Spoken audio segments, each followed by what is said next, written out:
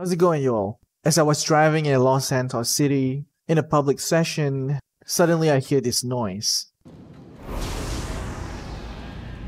I also spotted a red blip on my minimap, so upon checking it, I found out it's the slasher. If you guys want to know where the slashers might spawn, I'll be leaving the link in the description area. Also, if you guys notice that from the map, the sex slasher is supposed to spawn somewhere in the northern part of the map. And we have the driver spawning near the arena and also Blaine County.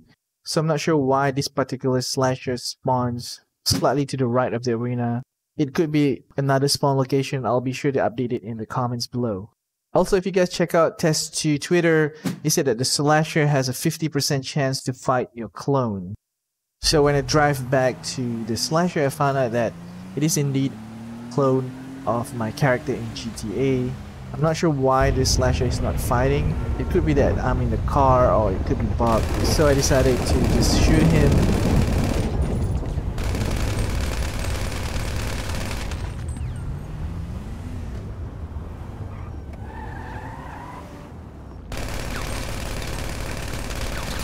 and it took a couple of shots until he goes down and I was finally able to loot him. And I'm not sure if this is a bug, that there's no money reward shown on my screen, but I'll be sure to update them in the comments below.